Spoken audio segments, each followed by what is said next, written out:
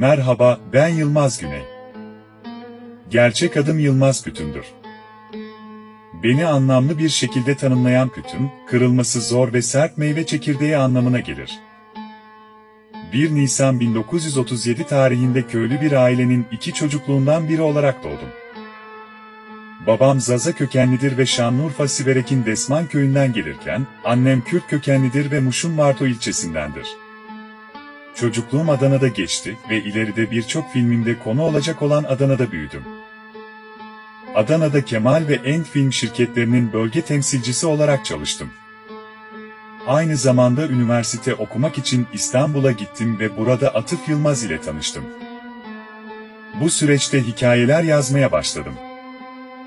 Atıf Yılmaz'ın da desteğiyle sinema alanında çalışmalara başladım. Sinemaya adımımı atmam 1959 yılında gerçekleşti. Atıf Yılmaz'ın yönettiği Bu Vatanın Çocukları ve Ala Geyik filmlerinin senaryosunu yazdım ve bu filmlerde rol aldım. Ayrıca Karacaoğlan'ın Kara Sevdası filminde yönetmen yardımcılığı yaptım.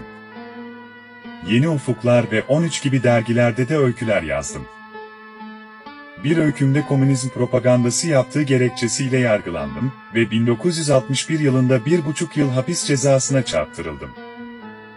Hapiste geçirdiğim sürenin ardından sinemaya dönüş yaptım. Bu dönemde daha çok macera filmleri çektim ve ezilen, hor görülen bir Anadolu çocuğunun otoriteye başkaldırısı konusunu işledim. Çirkin Kral lakabını aldım. Bu dönemdeki en önemli filmim, Lütfü Akad'ın yönettiği ve benim yazdığım Hudutların Kanunu oldu. Sonrasında ise cezaevi ve firari yıllarıyla karşılaştım. 1971 yılında Efraim Evrom'un öldürülmesinden sorumlu olduğu gerekçesiyle 2 yıl hapse ve sürgüne mahkum edildim. Hapiste olduğum süre boyunca sinema ve sanatla ilgili düşüncelerimi, şiirlerimi ve öykülerimi Güney adında bir dergide yayınladım. 1974 yılında Bülent Ecevit Başbakanlığındaki Türkiye hükümeti tarafından çıkarılan genel af sayesinde cezaevinden çıktım.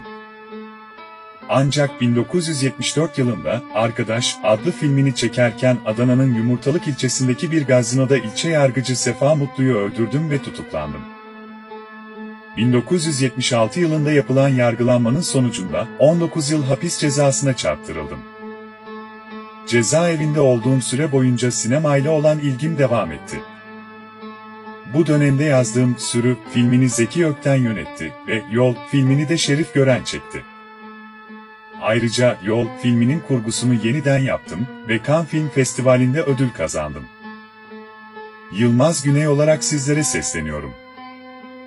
Hayatım boyunca birçok zorlukla karşılaştım ve birçok mücadeleye giriştim. İşte size kısa bir özet. 1981 yılında Isparta yarı açık cezaevinden izinli olarak çıktıktan sonra yurt dışına kaçtım. Bu kaçışım, filmlerimde anlattığım hikayelere benziyordu. Şeytanın Oğlu filminde anlattığım gibi, bir günlük izinle dışarı çıkan ve kaybolan bir adamın hikayesi benim yaşantıma benziyordu. Ben de sadece bir günlük izinle hapisten kaçtım ve Antalya'nın Kaş ilçesinden Yunanistan'a bağlı Meis Adası'na, oradan da İsviçre'ye sığındım. Ancak 6 Ocak 1983 tarihinde dönemin Cumhurbaşkanı Kenan Evren tarafından Türk vatandaşlığından çıkarıldım. Fransa'ya geçerek yaşamımın geri kalanını orada sürdürdüm. Fransa'da Duvar adlı filmimi çektim. Bu film, Ankara Merkez Kapalı Ceza ve Tutuk Evi'nde tanıklık ettiğim, çocuklar koğuşunda başlayan ve tüm cezaevine yayılan bir isyanın sinemaya aktarılmasıydı. Duvar filmi, son filmim oldu.